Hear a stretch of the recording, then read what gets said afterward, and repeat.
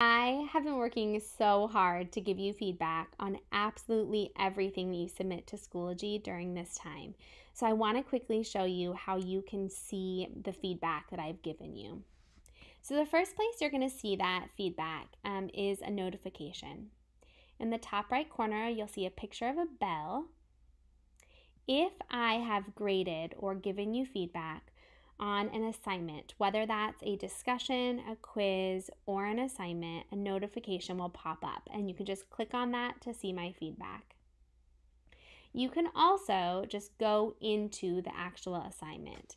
So I'm going to show you how to do that now.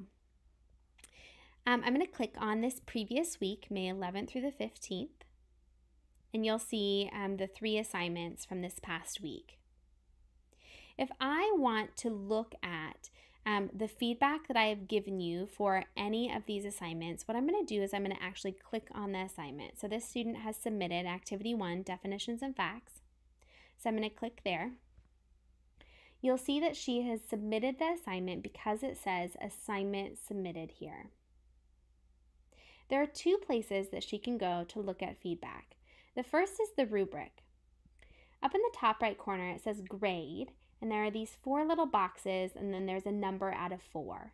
If you click on those four little boxes, you can see the rubric.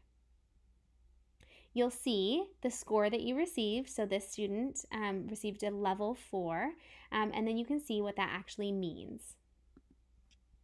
The second place that you'll receive feedback is in the comments in the actual um, submission. So what you'll do is you'll click on this assignment submitted here and what you wrote will pop up. So you'll see here's her paragraph. Um, and then next to it, you'll see the feedback that I have given you. So there are two places in an assignment that you can receive feedback in the rubric.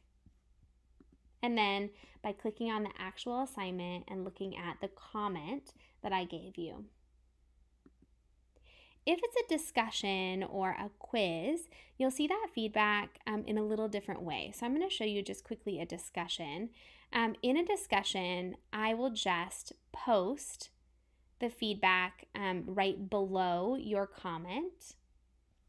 The rubric will be at the top of the discussion in the top right corner again. So again, you can just click on those four little boxes and you can see the score that you got um, and what that means.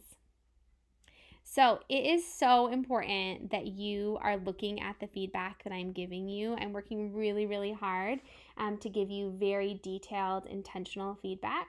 Um, because I can't be with you to give you that feedback. So I want to make sure that you are still getting it. So please make sure that you are going back into your previous assignments and that you're looking at um, the feedback that I am giving you, both in the rubric um, as well as my actual comments.